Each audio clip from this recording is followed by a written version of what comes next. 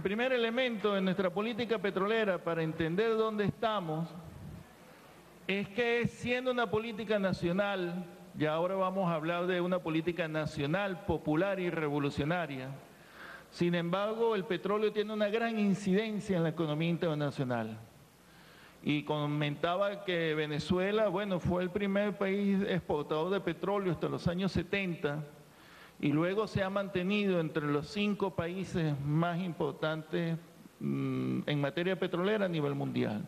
De hecho, tenemos un concepto que vamos a ver adelante, los cinco gigantes, los gigantes petroleros, donde Venezuela por su base de recursos está ubicada entre los pocos países del planeta que van a poder desempeñar un rol activo y preponderante en el tema petrolero a nivel mundial.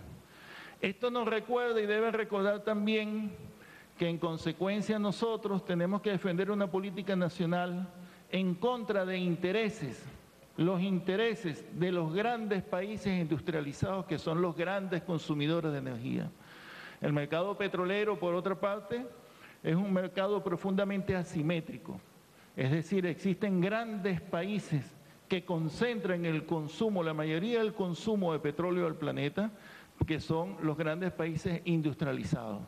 Es decir, el sistema capitalista es un sistema que necesita la utilización de todos los recursos naturales, agua, bosque, río, pero fundamentalmente petróleo y energía. Nunca perdamos de vista entonces. Amigos de